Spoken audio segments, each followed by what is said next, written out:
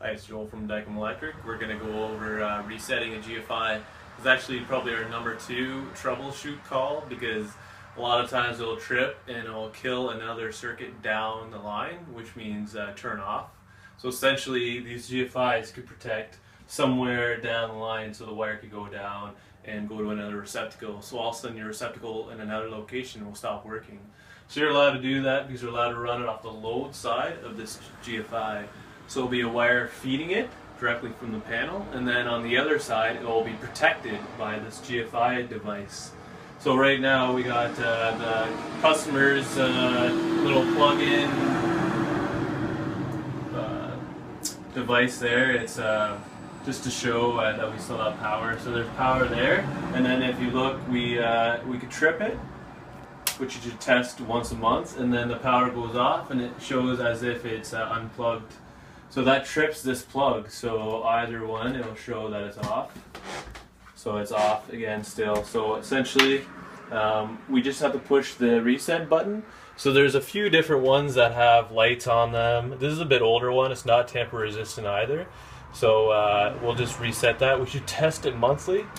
So you push in the red button till it clicks. And if it's not clicking, the breaker could actually be tripped in um, the basement, which we have a video for as well. Or it could be a defective GFI, and you should get that replaced as soon as possible because it's protecting things near your sink. You don't want things to be in there that you don't notice. A cord, even a cord hitting uh, water, could uh, trip uh, or uh, electrocute you. So this essentially is for this type of situation where there's a cord near it and it might be a little bit gashed and you're washing your hands in here and it could actually uh, shock you. So this will read a 5 milliamp current between the hot, hot and neutral. And it'll shut off the GFI, so any of these plugs and anything on the load side that's running out of that receptacle.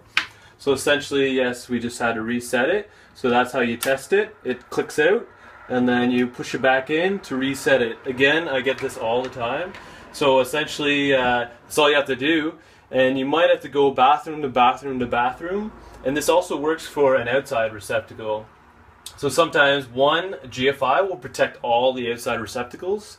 I don't like doing that personally. I'll buy a bunch of GFIs so they all have their own GFI so somebody doesn't have to run around and call electrician in and find out what's going on they're all confused. So if they have a GFI on each plug it's a bit more expensive uh, for me, but uh, I'd rather have that so they don't have to search around and call me back in, then I got to charge it for a service call. So essentially, uh, again, this might be protecting another plug somewhere else, maybe in the other bathroom. So if it's tripped, then that plug will be out. So all you have to do, if you have power out in another bathroom, you might just have to push that reset button. Once it clicks in, there you go, you get power again. Again, it works for an outside plug as well. So that's a little bit of a short story on how the GFI works and how to reset it and uh, how to save some money by doing uh, the stuff yourself. So again, uh, tripped, test it, always that uh, puts in a 5 milliamp um, resistance and it will actually make the plug think that there's a little GFI trip. So uh, we'll reset it back in there and turn everything, every plug back on, and then we're good to go. So again, if you have any uh, comments or questions, just give us uh, a comment or uh, go to www.delectric.ca and uh, submit a form just asking about the GFI. Uh, or give us a call if you're in the Ottawa area. So hopefully that helped and uh, give you a little bit of light on the situation. If you have a trip GFI, look up this video and it should help you out.